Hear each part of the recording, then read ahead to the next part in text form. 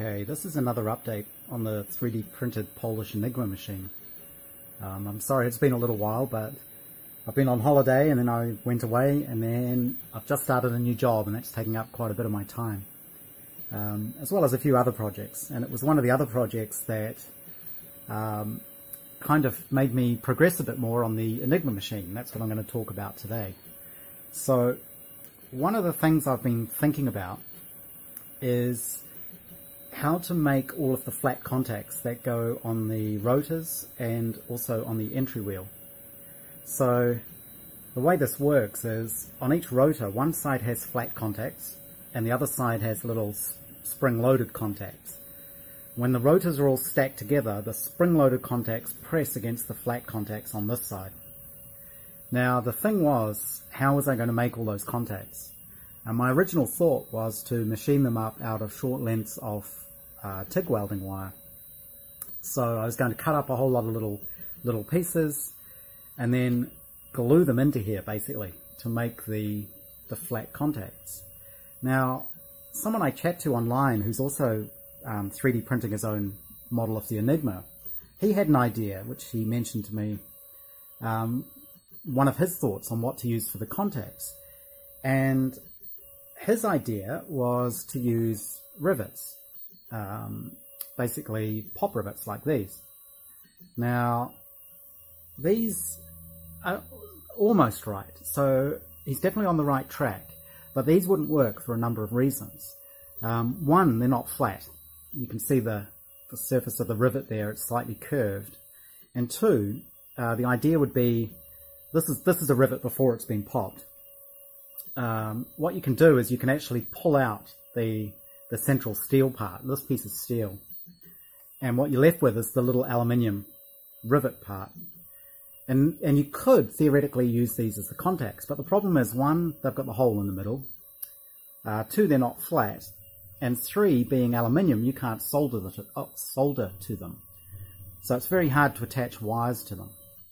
Um, I should have realized when he mentioned that, that I kind of already knew what the answer was, but it wasn't until a bit later uh, when I was actually looking for what are known as blind rivets um, for another project I'm working on, which is a little vintage car. And so this car is made with a an aluminium body, and some of the pieces need to be riveted on. And being a vintage car, you can't use pop rivets; they're far too modern. So what you use are what's called blind rivets, and effectively a blind rivet is like a pop rivet, but it's it's solid, and you poke it through the hole and using a hammer and dolly and a rivet set and various tools, you, you flatten the other end of the rivet and that's what clinches the two pieces of metal together. So I was actually looking online for aluminium blind rivets and what I came across when looking for those was these. Now these are copper blind rivets and they're also flat-headed blind rivets. And if you look at one of these things, got one here, basically that's exactly the sort of copper contact I need for this Enigma machine.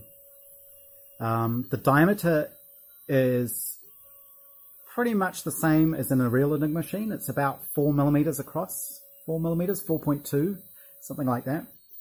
Um, the diameter of the shaft is 2 millimeters. I actually have the bag of them here. Uh, M2 by 8.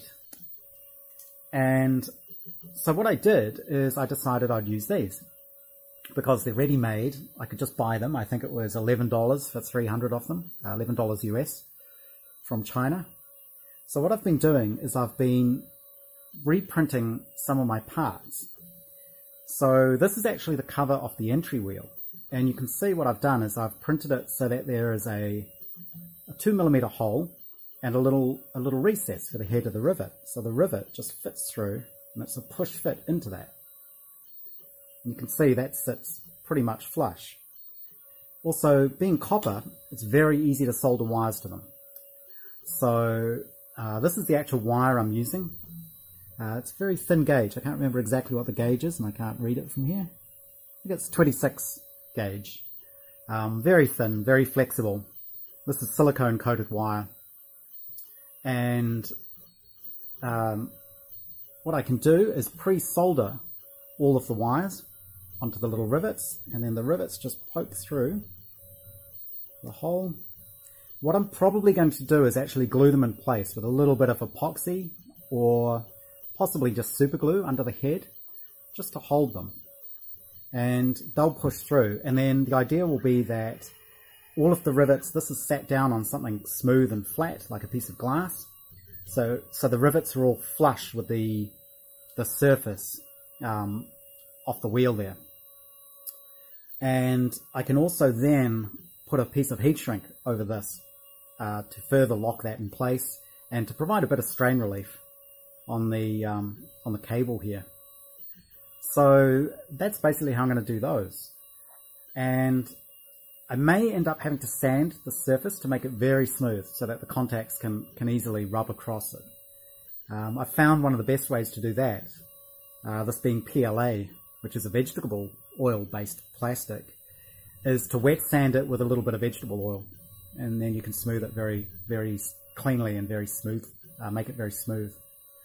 So I've remodeled the entry wheel, as you can see, and I need to modify my model for the, the rotors. So I'll have to reprint another five of these uh, with the new pockets, but that's that's easy enough to do. Um, one thing you can you can probably hear the printer in the background. We'll have a look at that in a second. But I've just started a, a whole new reel of black filament. I, I ran out, and I've had quite a bit of trouble getting this, this particular reel to print properly.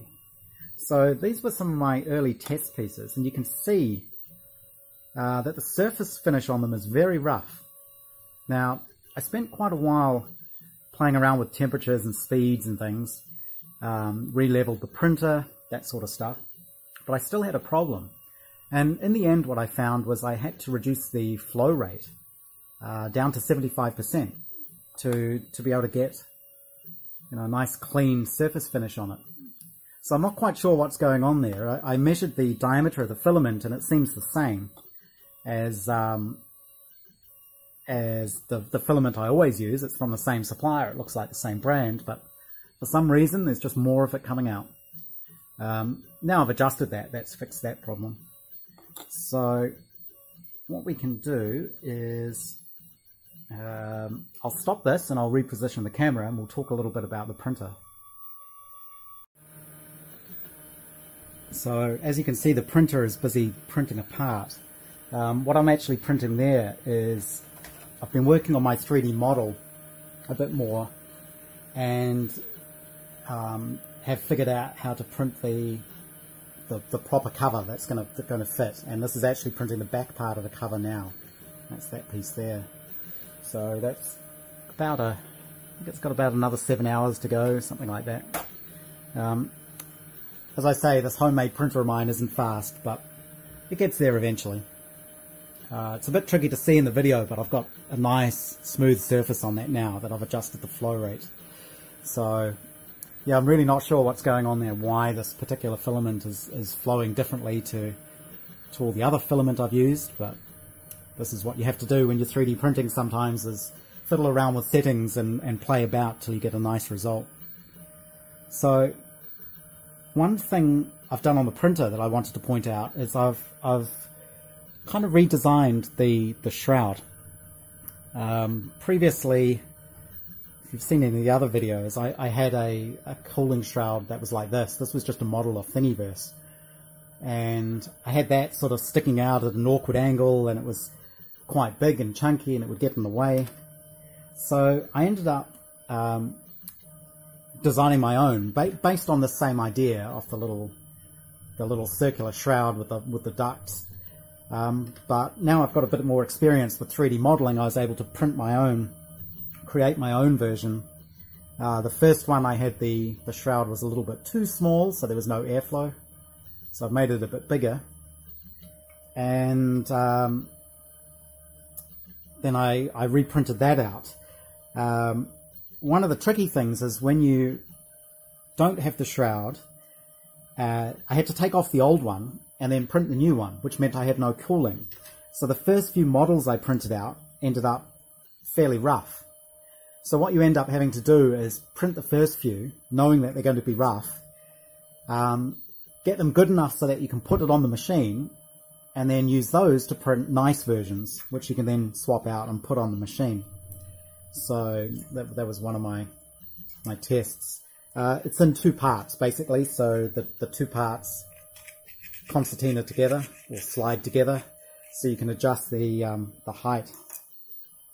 So that's one of the mods I've done on the machine just to make it a bit a bit cleaner and a bit neater looking. Um, and just also it's a lot a lot more rigid so it doesn't sort of wobble around when the printer's moving. So as I say I've been working on my model. Let's see if I can shift the camera around again. Let's see. Um, so this is my my model where I've basically uh, modeled the whole machine, more or less. And I've done most of the parts now, uh, including the keys. It's not a working model. Theoretically, I should be able to, to turn it into a working model. But the good thing about modeling it like this is I was actually then able to to see exactly where the cover was going to interfere with my mechanism. And that allowed me to redesign the cover, and I had to design these little pockets in it, um, which will have little covers over them. Um, but that's the beauty of the 3D modeling, is it, it allows you to do that. And of course, you can um, turn pieces on and off to have a look at the model and see how it all fits together. So the idea is eventually I will release these these models, but I'm not finished yet. And because I've made so many changes, I really need to reprint the whole thing to make sure it's still accurate. Because I've been remodeling it as I've gone along when I've I've realized I could model things in a slightly better way. So that's kind of where that's at at the moment. Um, all the major parts are there. As I say, I'm, I'm busy printing out the the new uh, top cover, which is which is this piece. And once I've done that, the printing is all complete. Um, I still need to make all the key shafts and I guess then start wiring the thing up. So hopefully with my new my new little rivets and bits and pieces, that should be a lot easier to do.